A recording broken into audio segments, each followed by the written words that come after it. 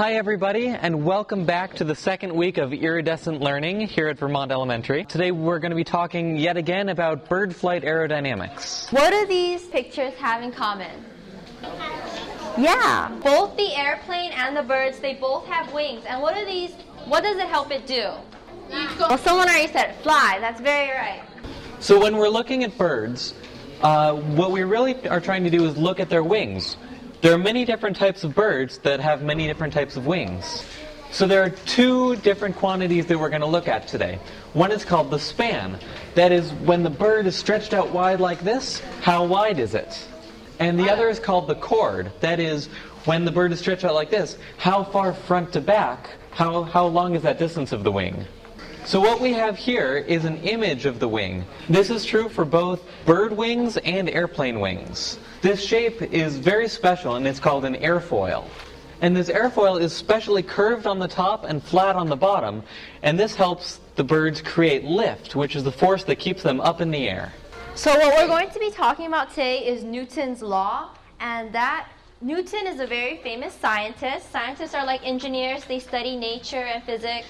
So you guys might know him because he's usually the scientist that the apple falls on top of his head, and that's how he discovered gravity. For this law, it's that every force there is an equal and opposite reaction. So what that means is every time you push or pull on something, they'll also push and pull on you. So when you jump in the air, you know when you jump in the air, you don't fall right through the ground, right? When you jump, what do you feel on the ground?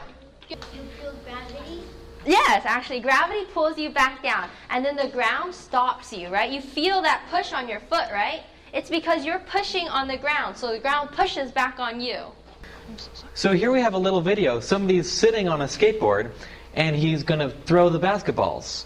So as he's doing that, the basketballs are going forward, and it's pushing him backwards. Here we have the same guy. What he's got is a fire extinguisher, and so he's going to be pushing out gas in the forward direction, and that'll propel him backwards. So far we've talked about this in terms of, of a forward and back or left and right motion, but the same works exactly the same way for down and up motion. We'll talk about that in just one minute.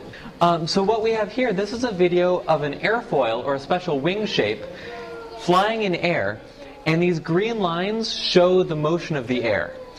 So what's happening is that the air is being pushed downwards, and as a result, the wings are being pushed upwards. This is what keeps it flying. Okay, so the air pushing down on the wing is what actually gives the wing its lift, and the lift is what carries the plane up and what allows birds to fly. The angle of attack is just the angle that the wing is situated, okay? So you can see how the fourth picture, it has a more angle. You can see that there's a 15 degree for it, whereas the first picture is just flat on the ground. So have any of you guys ridden in the car? I stuck your hand out and then felt the air pushing against your hand? Yeah. And then and then when you move your hand at different angles, don't you feel when your hand's like this, there's so much air pushing against it? Right? And then when you put your hand like this, it's like you're just cutting right through the air, right? So this angle is what gives the airplane its lift. When your hand is like this, that's when you're going to get the perfect amount of air so that it can carry your hand upwards. The air and then the wing. You can see the air and the smoke, right? Now as he tilts at a bigger angle of attack, you can see that the air is being changed. That's how the air works on your hand when it's out the car window too. When the wing is like that, well, a little lower than that, that's when the air is both on top and on the bottom. And the air on the bottom is what lifts up the wing, and that helps airplanes and birds to fly. But what we don't want to have is have such a big angle of attack that the wing doesn't work anymore. So what we have here is three pictures.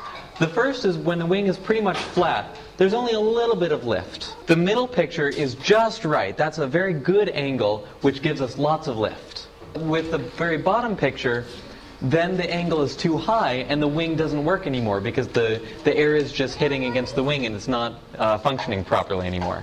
Here you go. And you, I have this crumpled up piece, a crumpled up ball. So since we're scientists and engineers here, let's make a prediction. What's going to happen when we throw the piece of uh, when the when we throw the ball versus when we throw the airplane? That's right. The prediction is that the ball is just going to fall, whereas the airplane has wings, so it'll be kept up. All right, so on the count of three, I want you to both throw them straight that way, okay? One, two, three. The ball fell in a perfect arc, whereas the airplane flew straight for a while. The wings kept it going just straight, whereas the ball fell immediately. So now it's time for the experiment, and we're going to be using construction paper, and you can decorate it, and um, we're going to tape it all together, and you're going to make your own airplane. So there are some pictures of birds, so you can kind of see we want wings. We want each side to be symmetrical, that meaning we want each side to look the same. And those are some examples.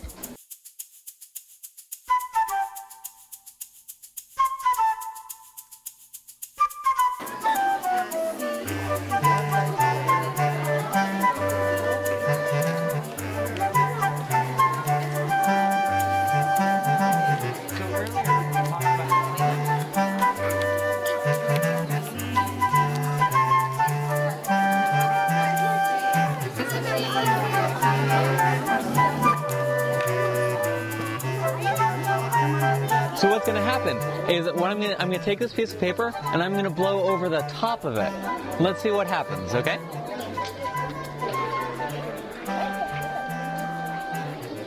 You see how that works?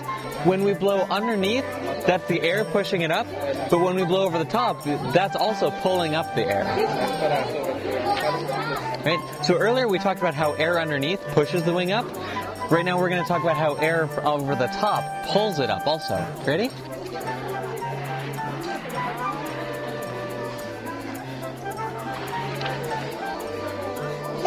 See that? out and then maybe fold it like this. And then you could cut out the wings in any shape that you want and then just glue it, stick it on with tape. You can see the little boy in the picture over there. Kind of, that's how you kind of want to do it. Okay, thank you. Oh, wow. Look, you designed a very nice plane here. So you could like cut it out on your paper, maybe over here, and then design your own wing. You have like a small wing over here. So design it and then cut it out and then stick it to the airplane. This is just an example. You can use even this half to cut out a body and then maybe fold it like this to make it more stable or something like that, or make it a tube.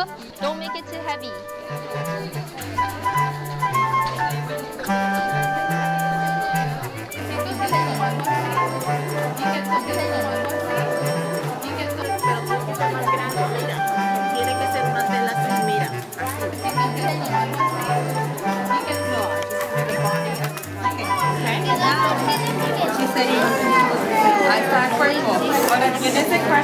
Y vas a pegar las alas aquí arriba porque aquí está flat y, y se pueden balanzar. Hagamos esta. Right. Así, mira. Right. So first we're just gonna make the body of it, and then the wings, No, but look how the boy did in the picture. and then you can draw. This is the hardest part. You have to get the body correct so that you can get the wings onto the body. So you can see how I'm folding it down.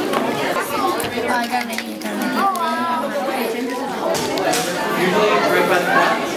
Why don't you turn things to paper, folding it up, and hitting it right on there.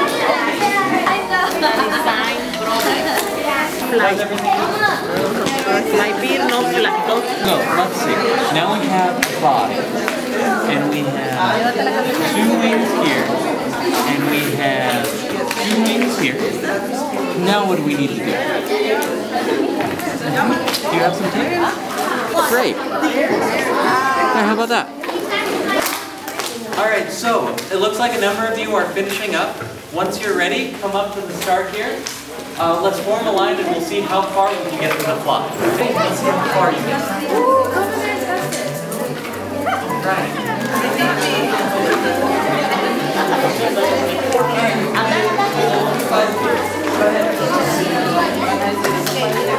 Was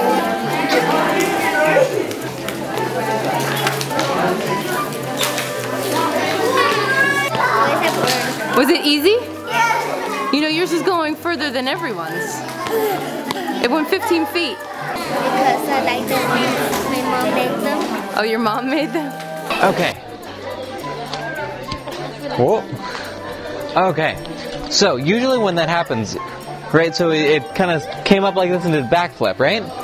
So usually what that means is that there's something pushing the front up or pushing the tail down. I just did it. So why don't you try folding it the other way, seeing if you can keep the uh, keep the front down a little bit. Because what we don't want is have the front uh, the front flying up. So far it can go. Mine keeps falling. Mine keeps. So that every time I throw it, it like goes backwards. Okay, so you have the same problem that he had just a minute ago. So what happens is something's pushing up on your nose, or maybe something's pushing down on your tail. But what you're doing is you're essentially making it do a backflip. So if I So if you push the tail down a little bit, then let's see what happens. So what did you do different to make it work better? I just take the wing, I just take the bottom wings a little bit. You see? It's hard paper that I use. Is that good or bad? Good. And that's why it flies good? How far did it go? I'm trying to Who could tell me something that we learned tonight? Sure. So air helps the wings stay up in the air. Sometimes at a good angle, it'll fly really smoothly. Right. Instead of falling down or like go. That's exactly right. That the how well your plane flies or how well your bird flies depends on what's called the angle of attack, the angle at which it flies. All right, so the planes and birds are yours to keep. Take them home. Thank you everybody for coming tonight. I hope we had a great time.